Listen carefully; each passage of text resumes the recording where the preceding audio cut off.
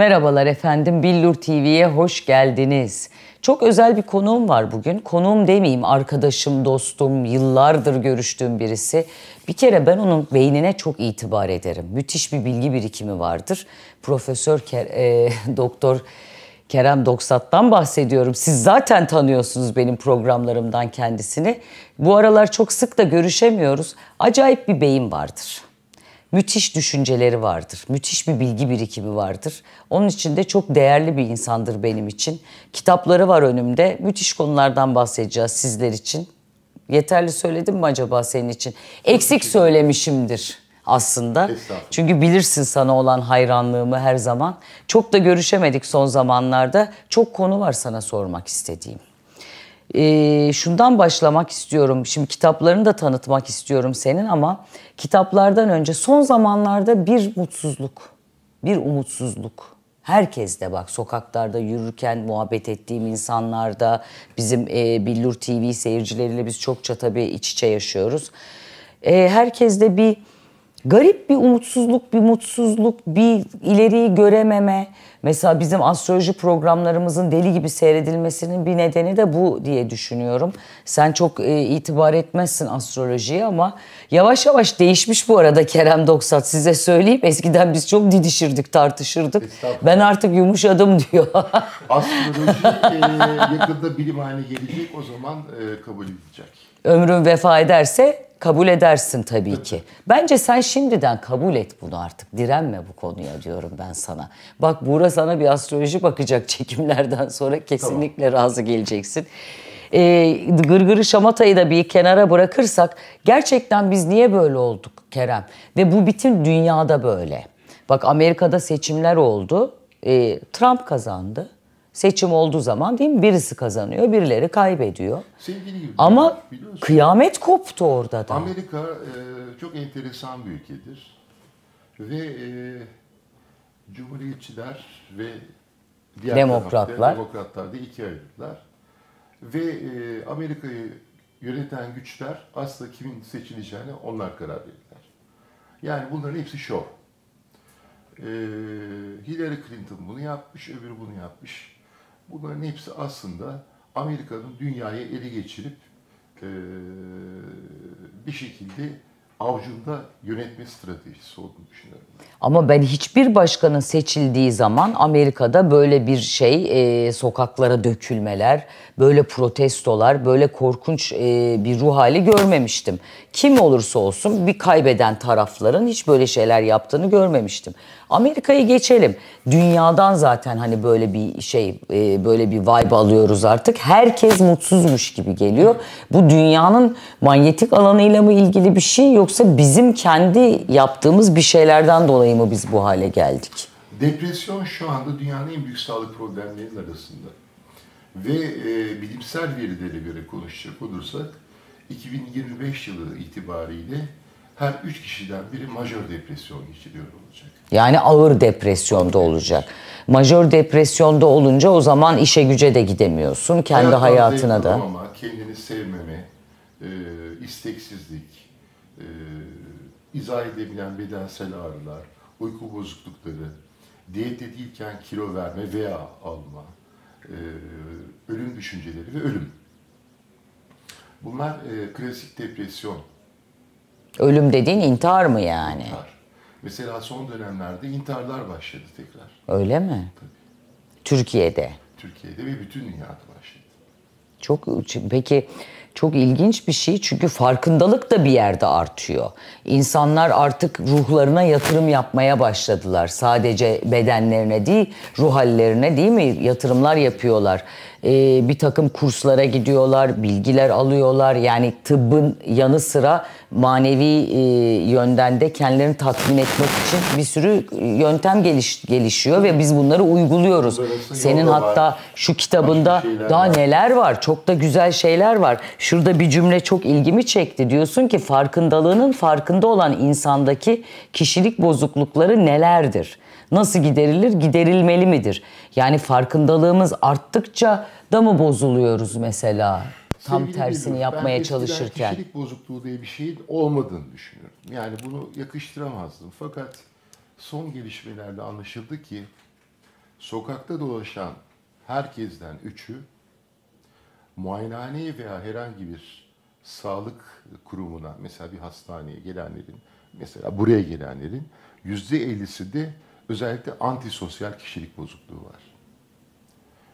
E, Breivik diye bir adam vardı hatırlar mısın? Breivik tabii ki. Bu adam e, Gitti adada çoluğu çocuğu vurdu, şey yaptı, gülerek öldürdü, hala mahkemelerde yaptı. gülümseyerek ve, oturuyor. e, maalesef o ülkenin yasaları son derece e, yumuşak olduğu için diyeyim. Bu adam e, Norveçli miydi, serbest- Danimarkalı mı? Ha. Yakında serbest bıra- bırakılabilir. Gerçekten mi? Yani- Nasıl oluyor bu? E, çünkü o ülkenin yasaları son derece bu konuda e, e, rahat ve insanlara e, çok e, imkan tanıyorlar. Tamam da o yani şimdi ben bunun teşhisini koymak bana düşmez de Allah'ın bir manyağından bahsediyoruz. Antisosyal kişilik bozukluğu. E bunun tedavisi var mı peki? Maalesef antisosyal kişilik bozukluğunun hiçbir tedavisi yok. Ya hapse atılıyor, birkaç yıl yatacak, çıkacak. O kadar öldürdüğü genç, e, bir de ateş açması, toplum içinde tehdit oluşturması, bilmem kim bilir kaç ayaktan yargılandı adam. E, Amerika'da cezalar çok ağır da ne oluyor? Amerika'da sapıtmış vaziyette. Bizdeki başka bir türlü bir Amerika'da acayip. biliyorsun e, idam cezası var. Hatta Amerika'da idam cezası şimdi değiştirildi. Eskisi gibi asmıyorlar insanları. E, kimyasal olarak bir takım maddeler vererek e, Eyalete göre değişiyor. Eyalete göre değişecek şekilde öldürüyorlar. E, ben eskiden çok karşı çıkardım. Ama e, evini basan, çoluğu çocuğu öldüren, özellikle pedofili gibi yani küçük yaşta çocuklara cinsel istismar yapan insanların e, tedavisi de pek mümkün olmadığı için Değilmiş evet. e, bunların idam edilebileceği konusunda bir fikrim var. Bak sen çok değişmişsin görmeyeli. Sana söyleyeyim. Bir sürü şeyi ben eskiden tersini düşünürüm diyorsun. Biz niye böyle bu hale geldik peki? Ne yaptık da bu hale geldik? Nedir bu umutsuzluk, bu mutsuzluk, bu geleceği görememe ve mütemadiyen de üremeye devam ediyoruz. Biz kendimiz bu kadar umutsuz ve mutsuzken e, meydana getirdiğimiz çocuklara da bunları ekiyoruz. Yazık değil mi o doğurduğumuz çocuklara? Hayat ay, sevinci aşılayamıyoruz. Ee, hayvanlardan uzak tutuyoruz. Doğadan iyice koptuk. Zaten plaza insanlarına dönüştük. Mesela bu mutsuzluğun e, sebebi aslında doğadan bu kopuş olabilir mi? Kesinlikle. Türkiye eskiden e, kendi kaynaklarıyla kendine yetebilecek bir ülkeydi. Bu e, özelliğini yaklaşık 20 senedir kaybetmiş durumda. Şimdi tekrar geri almaya ve geri çalışıyoruz. almaya çalışıyoruz. E, ve e, ciddi bir şekilde e, ekonomik kriz var. Ve insanların çoğu depresyonda. Aynı zamanda e, bir de tabii depresyonun sadece insanda değil, toplumlarda da görülmesinden bahsedebiliriz. Hmm, O nasıl oluyor? Yani birer birer bilgi, birbirimizi mi Ümidini etkiliyoruz? kaybedenler, memleketi terk etmek isteyenler, e, artık ben bu memleketi yaşamayacağım ve gideceğim diyenler, Nereye gidecekler çok merak ediyorum. Başka memleketler bizden çok mu iyi durumda? hiç daha iyi durumda değiller. E, geçen ay Paris'teydik. Paris'te e, bizim kaldığımız otelle e, e, lokanta arasındaki bölgeye e, müfettişler koymuşlardı ve orada da şu anda sarı alarmda Evet. herkes. Çünkü dünya çapında bir paranoya, bir e, kuşku ve e, şüphe e, tablosu içerisindeyiz. E orada da o hal ilan edildi. Terör olaylarından dolayı Nice'deki patlamadan sonra e işte bütün dünya bu halde. Yani şimdi buradan gitmek isteyen var. Her ülkede vardır muhakkak. Hangi ülkeye gidip vatandaşıyla konuşsan ben burada yaşamak istemiyorum diyebilir. Burada son zamanlarda çok arttı. Gerçekten bilmek istiyorum. Buranın haricinde hangi memlekete gidip ve Türk olarak bir Müslüman olarak bir de kabul göreceksin. Kafalar üstünde mi oturtulacaksın yoksa ikinci sınıf vatandaş olarak mı gidip başka bir ülkede yaşayacaksın? Burada bir şeyler yapmak varken bir de. Bu konuda e, belki de tek istisna Hollanda. E, Hollanda'da çünkü e, biliyorsun zaten e, evlilik konusunda onların anlayışları bizden çok farklı.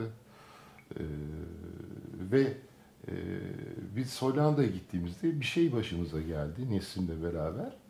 E, çok ilginç, ilgimizi çekti. Şimdi orada Red Light Street diye bir yer vardır. Şu tarafta helal food satan e, Müslümanlar durur. Bu tarafta Hristiyanlar durur. Eskiden e, Hollandalılar çok dindardı. Son gittiğimizde ise tamamen kendilerini içki, fuhuş ve benzeri şeyleri verdiklerini ve kiliseleri artık hemen hemen hiç gitmediklerini, sokaklarda kafa çekip kafa bulduklarını ve e, ciddi şekilde ticarete ağırlık verdiklerini gördük. Yani Hollanda bile artık e, eskisi gibi değil. Peki ama diyorsun ki yani gidilebilecek bir ülke öyle mi? Ha, İstisna tabii, dediğin o istisna. muydu yani? Fakat e, Hollanda şöyle bir yer, bir yandan da o kadar huzurlu bir yer ki. Yani e, Bir Türk sıkılıyor orada, orada bir zaman sonra. ben gittiğimin üçüncü gününde fenalıklar falan geçiyorum. Avrupa'nın herhangi bir ülkesinde çok güzel olmasına rağmen, çok temiz bakılmış olmasına rağmen biz biraz kaos insanlarına dönüşmüşüz sanırım. Aynen, aynen. Trafikte bir karışıklık olmazsa, birileri bir asabiyet yapmazsa sıkılı veriyoruz. Mesela bir taksici ağzını açtığında tak inip kavga eden insanlar çok fazla şu anda. Nerede? Sokaklarımız Ha burada evet. Tabii, tabii, Ee, Hollanda'da da şöyle yaşanmaz bence veya herhangi bir Avrupa ülkesinde havası bir kere. Biz cennette yaşıyoruz ya farkında mıyız? Şöyle bir şeyle karşılaşıyorum. Ben şimdi bilirsin neşeli bir insanımdır genelde. Gülecek Bilmez bir şeyler bulurum hep kendime. Bunu şimdi seyircilerimizden hani seyrederken tabii senin tuzun kuru da ondandır filan geyiklerinden uzaklaşmalarını rica ederek sana söyleyeceğim. Çünkü dünyada hiçbir insanın tuzu o kadar kuru değil en azından benim değil yani. Benim de kaygılandığım, e, iş yapmaya çalıştığım, evimi geçindirmeye çalıştığım, ilişkimi yürütmeye çalıştığım bir sürü çabam var hayatta. Kimse zaten böyle bir eli yağda bir eli balda oturmuyor. Ama neşemi bozmamaya çalışıyorum açıkçası. Şimdi hani ben bunu yapabiliyorsam niye başkaları yapamıyor diye sormayacağım ama şöyle bir şey var. Yolda hep karşılaştığım insanlar bana ya sizin gözünüzdeki ışık hiç gitmiyor.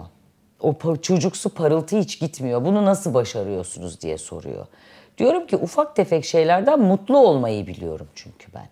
Evimdeki kedileri özlüyorum mesela. Ke sevgilimle iyi vakit geçiriyorum. Bir sinemaya gidiyorum. Ne bileyim çok basit, çok e, ucuz yapılabilecek ama çok insanı tatmin edecek şeyler yapıyorum hayatta.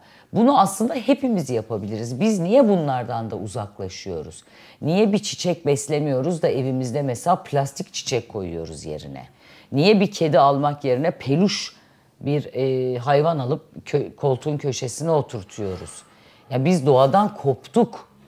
Ben bunu tamamen doğadan kopuşa, özümüzden kopuşa bağlıyorum bu kadar depresyonu. E, haklısın.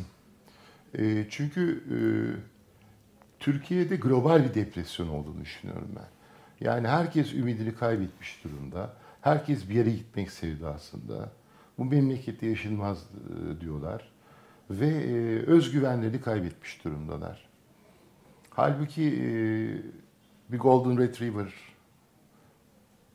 Alıp sert bırakıyorlar sokağa iki gün sonra işte. Ondan da sıkılıyorlar. e, insana çok yakın hayvanlar. Yani insana yatırım yapmak lazım. Nasıl yapacağız? İnsanları severek. Çok basit değil mi? Ee, bütün sapkınlıklarına rağmen Freud'un e, haklı olduğu bir taraf var. Hala Dünya Sağlık Teşkilatı'nın da sağlıklı insan tarifi o. Ee, sevebilen ve üretebilen insan sağlıklıdır. Ya aslında çok güzel bir saptama. Tamam Freud'u sevmezsin. Ee, bir takım şeylerine de e, katılmıyorsun. Ama adamın şimdi büyük bir adam olduğunu da inkar edemeyiz herhalde değil mi? Bir sürü fikriyle e, insanlığı bunca yıl götürdüğünü, Tabii tabii. bir sürü Freud, söylediği e, şeyin doğru Freud olduğunu. zamanında e, e, çok önemli bir adam. E, aslında hipnoz yapıyor. Breuer denilen zamanının çok büyük bir e, hekimiyle işbirliği yapıyor. Ve e, Viyana'nın kapılarında uzun süre bekliyor. Sonra Anna O diye bir hasta ortaya çıkıyor ki Anna O, Anna O değildir aslında da isim söylemeyeceğim şimdi. Ee, Anna O'yu tedavi alıyor. Anna O Breuer'den hamile kaldığını iddia ediyor. Ee, Anna aslında e, Anna O değil. Bir Yahudi e, kadın. Ve bu kadın daha sonra dünyayı dolaşmaya başlıyor. İsviçre'ye gidiyor. Orada özel kliniklerde medikal yani tıbbi tedavi görüyor. Sonra Türkiye'ye geliyor ve buradaki Hahanbaşı ile görüşüyor. Buradaki e, Yahudiler nerede diyor. Hepsi e, para kazanmak için e, hoş olmayan işler yapıyorlar diye bir cevap alınıyor. Bunun üzerine büyük bir para bağışında bulunuyor ve e, buradaki Türkiye'mizdeki Yahudilerin çoğu o sayede hala bugün ayakta durmakta. Gerçekten mi? Evet.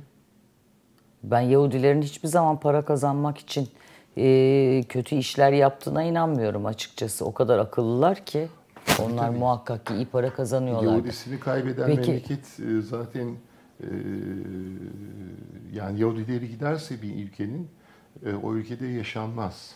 E, şu anda dünyada 13 milyon tane Yahudi bütün dünyayı idare ediyor.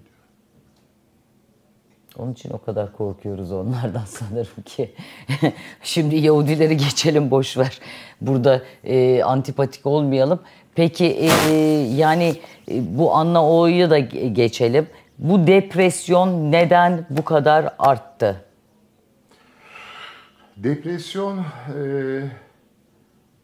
Niye biz Bir- kendimizi ufacık şeylerle mutlu edemiyoruz artık Eskiden eskisi gibi? evolüsyonel depresyon denilen bir şey vardı. Yani e, 70-75 yaş civarına gelen insanlar e, depresyona girdikleri takdirde e, buna evolüsyonel depresyon deniyordu. Terimleri artık kullanmıyoruz. Depresyon depresyondur diyoruz. Şu anda 2016 yılında olmamıza rağmen depresyonu ortaya çıkaran gerçek sebepleri hala bilmiyoruz organik olarak. Çok İşte ilginç. dopamin var, serotonin var, noradrenalin var, o var, bu var. Fakat eee, başka bir şeyler var. Bunların hala ne olduğunu bilmiyoruz. Hatta eee, bazı meslektaşlarımız depresyonun yüzde yüz düzeldiğini söylerler. Halbuki son bilimsel gelişmelere göre biliyoruz ki depresyon yüzde 85 oranında düzelebilen bir hastalıktır. Az buz oran değil ama Tabii. yani. Ee, kalanları için çok ilginç bir yöntem vardır. Elektrokonvülsif terapi, EKT. Neş'in filmini seyretmiş miydin? Neşe. Neş. Ee, Ha tabii ki seyrettim. Seyretmem mi? Mesela e, ben Neş'in Russell doktoruyla tanıştım Amerika'ya gittiğimde. Neş, üç tane halüsinasyonu vardır. Neş ama şey şizofrendi değil mi? Şizofrendi. Ee, ve e, Neş'in doktoruyla ben tanıştım. Kendisine e, antipsikotik ilaç vermişler. Neş ondan sonra bayağı toparlanmış. Ve gerçekten de hak ederek o Nobel'i almış. Fakat e, iki sene evvel onu kaybettik. E, çok büyük bir bilim adamıydı. Ama e, dünyaya kaos teorisinde o kazandırdı. Peki ilaçları aldıktan sonra ama o tip beyinlerde ilacı aldıktan sonra o yaratım mesela sona eriyor mu? Yani ona şizofreni yarıyor mu öyle birisine? Şizofreni öyle enteresan bir hastalık ki işte ses duymak, e, takip edilmek, konuşmalarının veya düşüncelerinin televizyondan yahut radyodan e, yayınlandığını düşünmek. O ama paranoid e, şizofreni Paranoid dediğimiz. ha. şizofrenin belirtileri.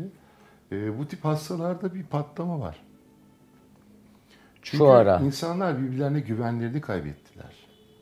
Bu elektronik cihazların da hayatımıza çok girmiş olmasıyla bir şey olmuş olabilir mi acaba yani? Belki bir manyetik alanımızda gerçekten bir bozulma olabilir mi bu Olabilir. kadar şeyle, Olabilir. radyasyonla bilmem neyle, onunla bununla? Çünkü radyasyon e, özellikle bu e, Nagasaki ve Hiroşima'ya atılan bombalardan sonra bütün dünyaya yayıldı ve şu anda atmosferde ciddi bir şekilde radyasyon var. E zaten kullandığımız aletlerde de var. Sadece yani Mesela e, cep telefonlarının beyin tümörü yaptığı iddiası bir dönem gündeme geldi. E, yeterince çalışma yapılmadığı için ispatlanmadı ama cep telefonlarının e, kullananlarının özellikle bazı markalarda e, bir beyin tümörü e, ortaya çıktığını ben gördüm. gerçekten mi? E peki ama o zaman biz ileride dünyanın zaten nüfusu kalmayacak yani böyle giderse kendi kendimizi yok etmeye devam edersek Şimdi ya da evrileceğiz bunlara adapte olacak vücudumuz. Ee, bizim türümüzün adı Homo sapiens sapiens. Yani farkında olduğunun farkında olan adam.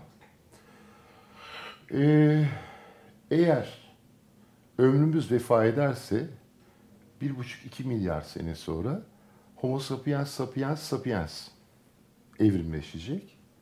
Ve bunların e, telepatiyle ilişki kuran, e, böyle uçarak hareket eden ve e,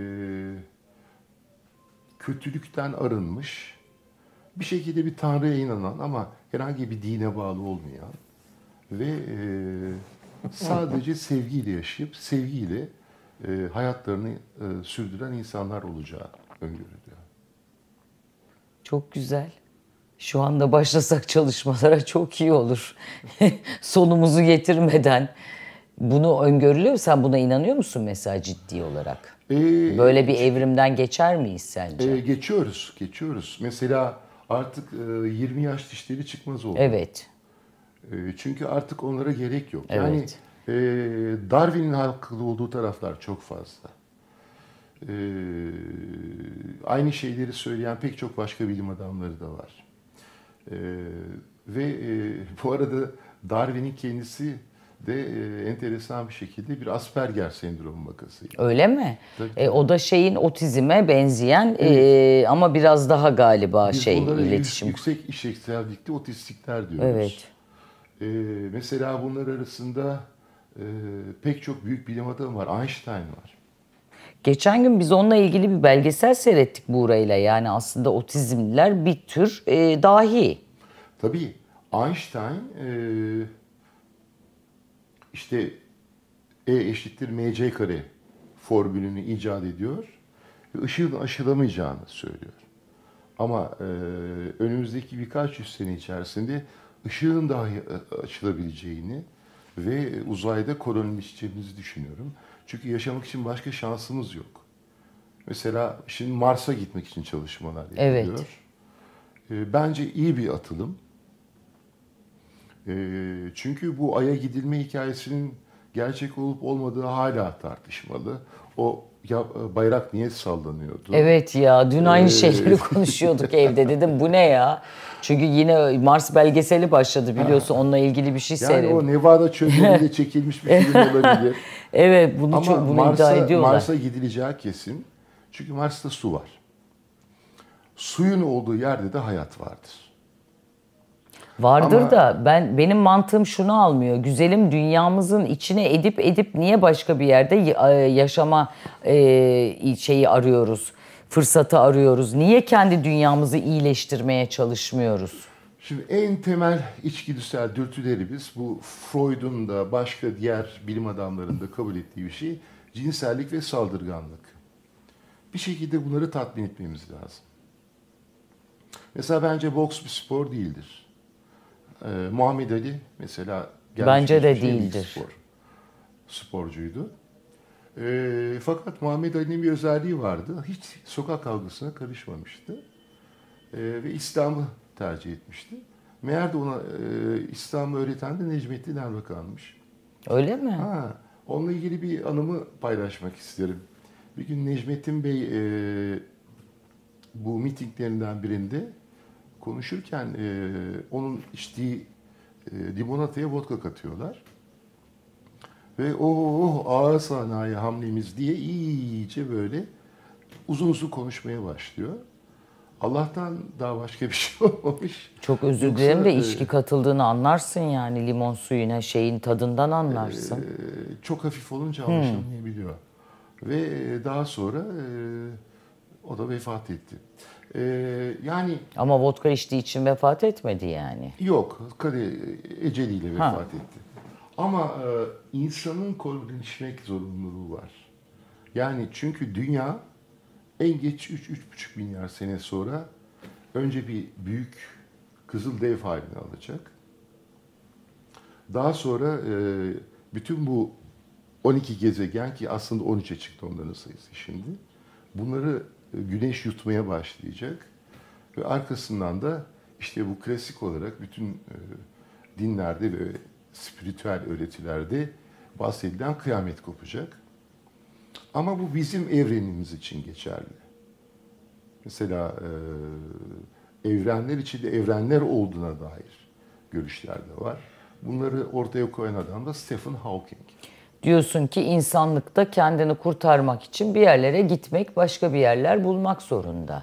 İnsan e, bu kadar yaşamaya layık mı sence? Şu anki halimize bakıyorum da bence kendi sonumuzu bir an önce getirsek iyi olacak. Bu bu yıkıcılıkta, bu huylarla, bu e, psikolojiyle devam edersek bizi niye istesin yani başka gezegenler veya Allah bizim yaşamamıza niye izin versin? Hani bu bu ego ne? İnsanlık devam etsin. Etsin de e, adam gibi insan oldu öyle devam etsin yani. Daha biz insan değiliz ki neyin devamını istiyoruz yani. Birbirimizden nefret ediyoruz. Sen diyorsun ki insanlığın kurtuluşu sevmekle başlar. Kendini sevmiyor ki başkasını sevsin. Ben onu görüyorum dünyada şu ara yani. Zaten, ondan bu e, tehlikeli mesela durumlar. terapilerimde kullandığım bir e, tekniği söyleyeyim. E, uçağa binmeyenler bile bunu anlıyorlar. Çünkü artık televizyonlardan filan herkes uçağa binmeyi öğreniyor.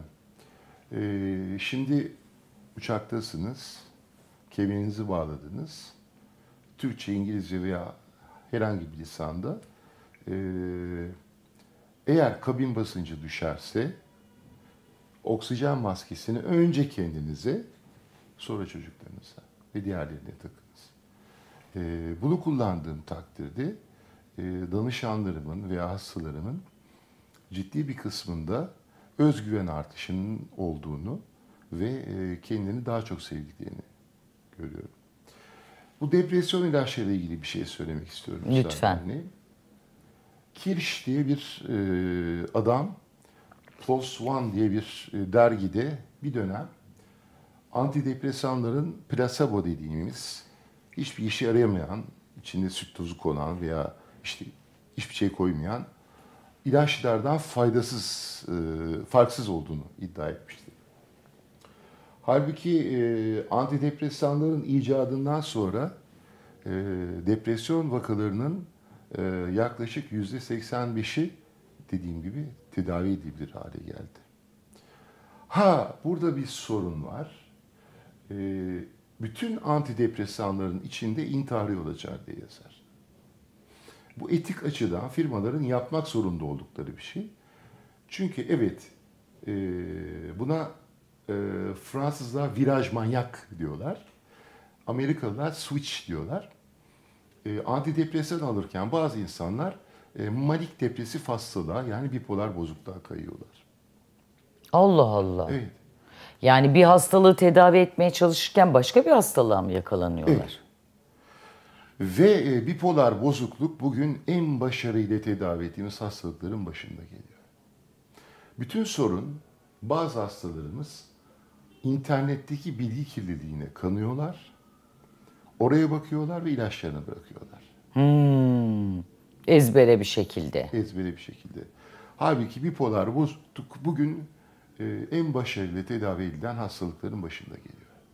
Onu başka bir program konusu yapalım çünkü çok önemli. Bu, bu aralar çok duyuyorum ben bipolar.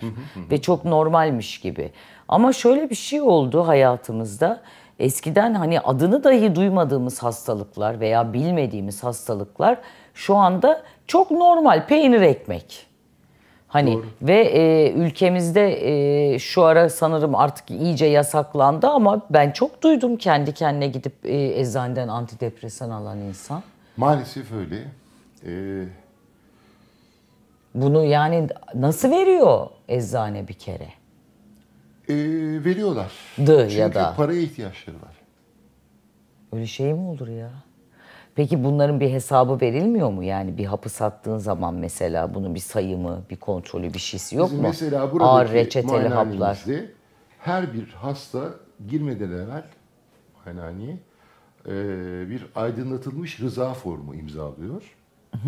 Ve tedavide yapılacakları önceden peşinen kabul ettiğini e, bize e, yazıyla belirtmiş oluyor. Daha sonra hangi tedavi uygulayacağımıza biz karar veriyoruz. Aydınlatılmış ne demek?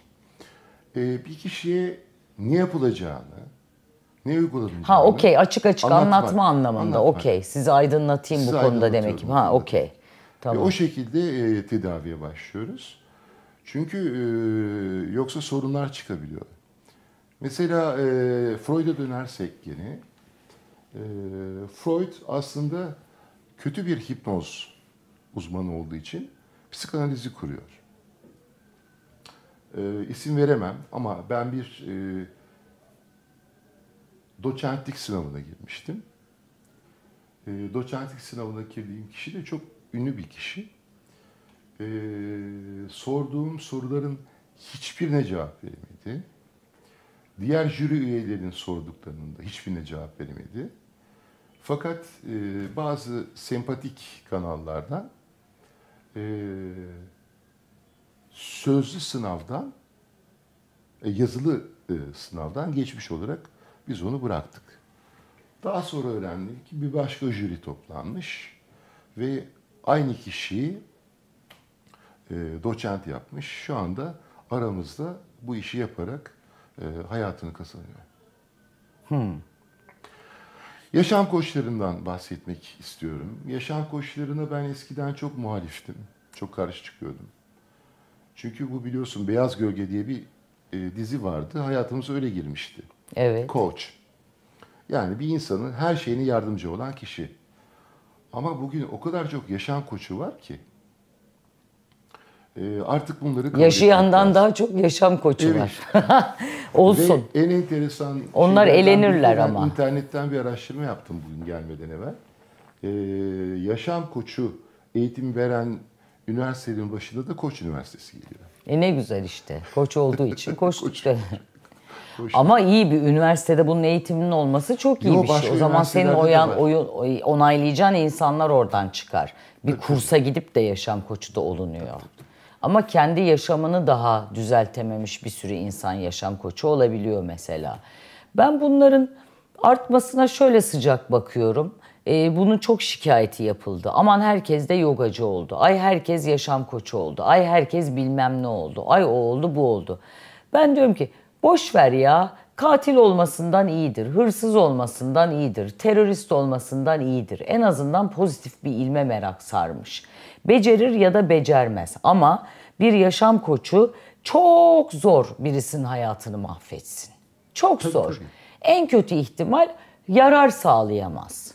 Ama bir insanın hayatını karartabilecek güce zaten sahip değil. Onun için de Ben hani birkaç olsunlar. ya- yaşam koçu tanıyorum. Ee, bir tanesi e, büyük şirketlere danışmanlık yapıyor.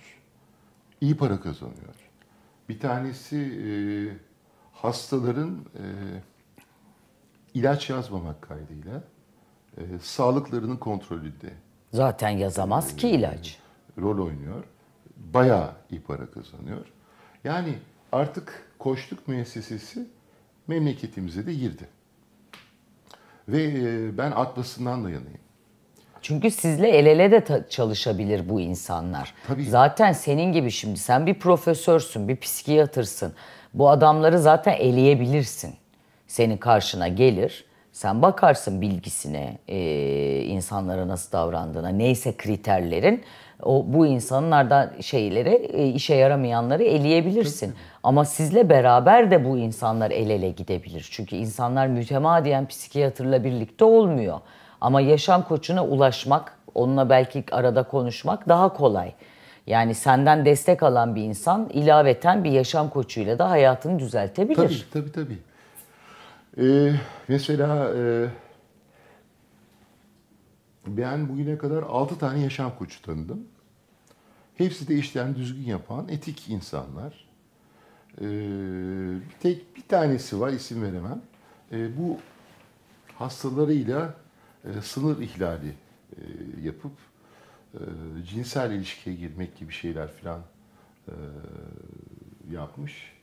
Fakat e, yasalarımız şu anda o kadar alt üst olmuş durumda ki e, herhangi kimse bunu şikayet etmemiş.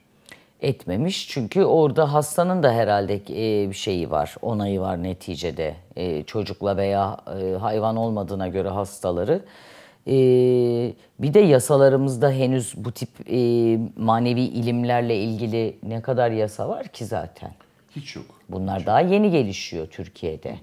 Ama ben yine de yani tabii ki sen ben seni çok değişmiş buldum ama yani eskiden çok bu tip şeylere korkunç karşı çıkardın. Ee, ama bu tip şeylerin de şimdi yararını görebiliyoruz demek ki. Ne bileyim ben bir kalp doktoru, bir biyoenerji uzmanı ile çalışıyor. Bir sürü cerrah artık bu tip e, uzmanları yanlarında bulundurabiliyorlar. Evet. Aslında tamamlayıcı tıp dediğimiz yani alternatif yöntem dememize kızar mesela e, bu yöntemleri kullanan insanlar. Çünkü biz tamamlayıcıyız diyorlar. Biz aslında katı tıpla el ele yürüyoruz Zamanında diyorlar. ben bir televizyon programını bu yüzden terk etmiştim. Evet biliyorum. Ee, ama daha sonraki gelişmelere baktım. Bu insanlar aramızda yaşıyorlar. evet aynen eğitim öyle. alıyorlar Aynen öyle. yarıyorlar. Onun Evet. için e, artık e, alternatif tıp değil de tıbbın da kabul ettiği alternatif yöntemler Aynen. Tamamlayıcı e, diyorlar zaten. ve tamamlayıcı kendilerine. yöntemler diyerek e, bu tip insanların işe yaradığını gözlerimle görüyorum ve işbirliği yaptıklarım da var. Ya Kerem Doksat ne hale gelmiş siz bana sorun bana. Ben bu adamla ne mücadeleler ettim zamanında. Benim programlarıma gelip ben astroloji yapıyorum diye bana neler söylediğini hatırlıyorum. Çok mutlu oldum. Niye dersen çünkü biz e, kimse kimseyle mücadele etmesin ya hayatta. Birbirimize yardımcı olarak olarak bir şeyler yapalım e, biz zaten. çok eski dostuz biliyorsun. E, Yok ikimizden bahsetmiyorum genel olarak Tabii, tabii. yani. Yani bir şey bilimselliği ispat edildikten sonra artık o e, geçerlidir.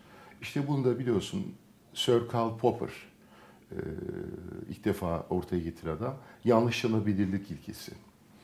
Bugün artık e, pek çok eskiden bilimsel olarak kabul etmediğimiz şeyin yanlışlanabilirlik ilkesini aşıp bilimsel hale geldiğini görüyoruz. Ya da bilimsel bildiğiniz bir sürü şeyin de yanlışlandığını da Yanlışlandığını görüyorsunuz değil mi? Zaten bilimin temel ilkesi değil midir yani? Aslında yanlışlanabilir de olması ki devamlı gelişmek zorunda değil mi?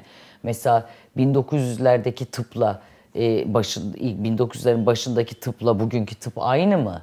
E, efendime söyleyeyim. Sizin ilminizde bile neler e, ayrıştırıldı değil mi? Eskiden sosyoloji, psikoloji bilmem ne hepsi bir kabul edilirmiş. Tabii. Dallara ayrılmış. O dallar şimdi ne alt dallara ayrıldı.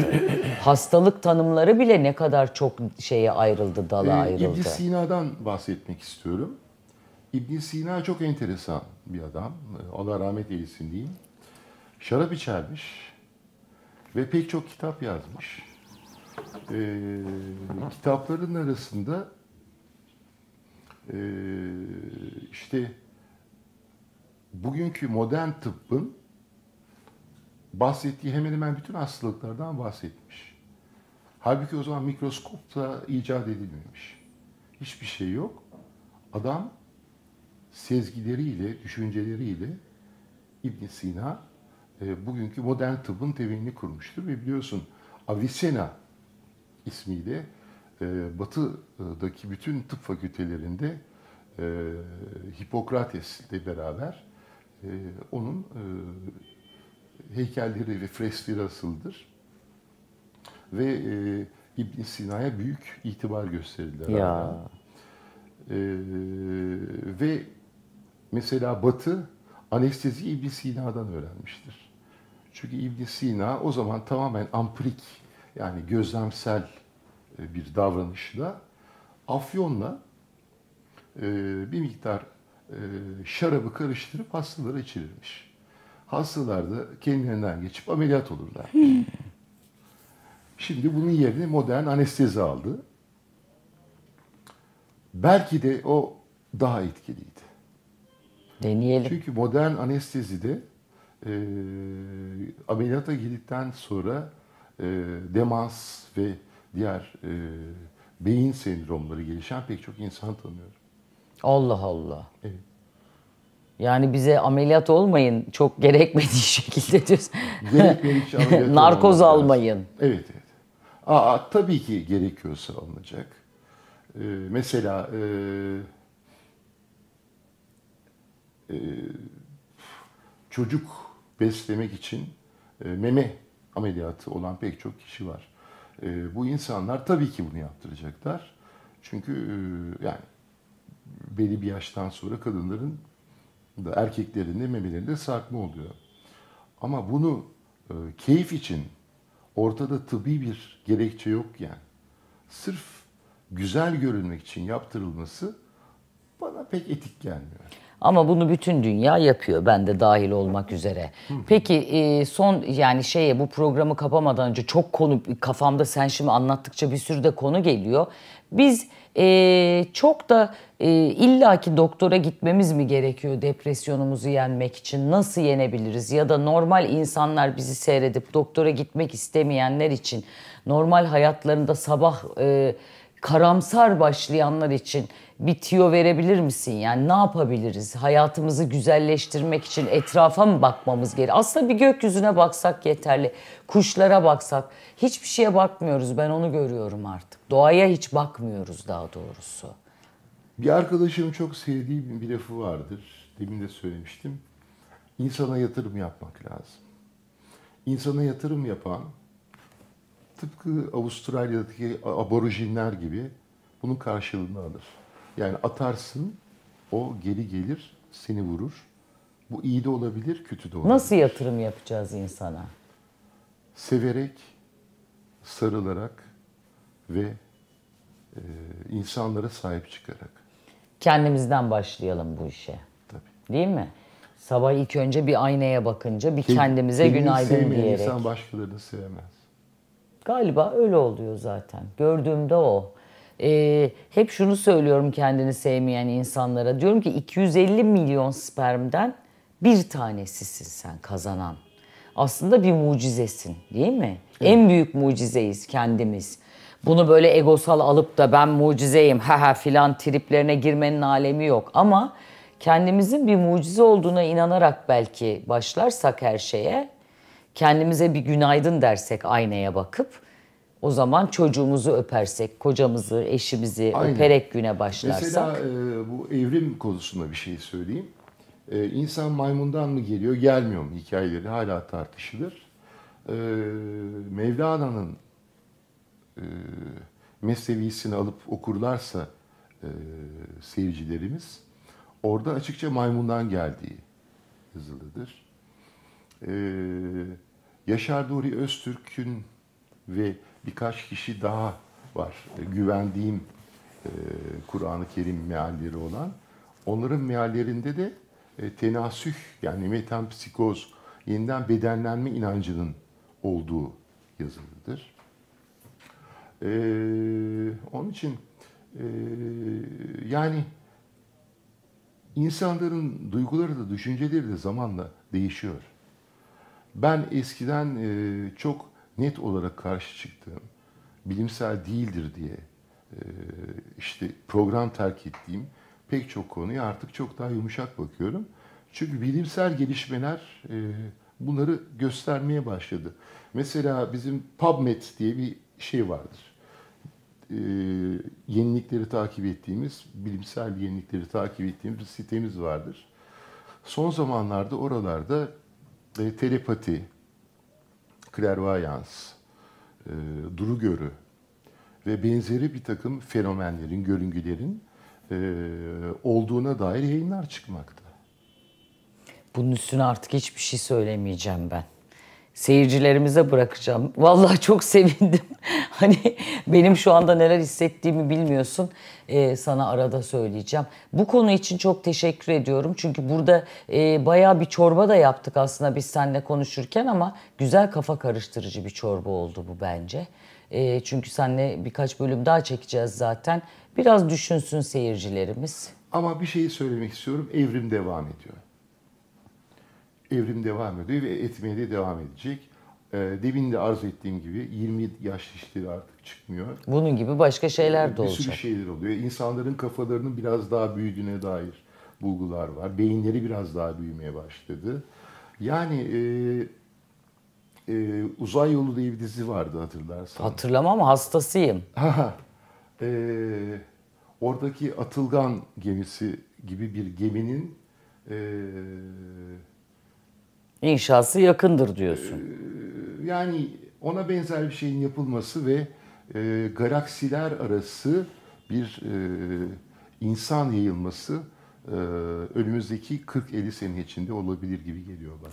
O zaman e, bence bir an önce insanlığımızı geri almaya bakalım ki yayıldığımızda pislik saçmayalım lütfen uzaya da.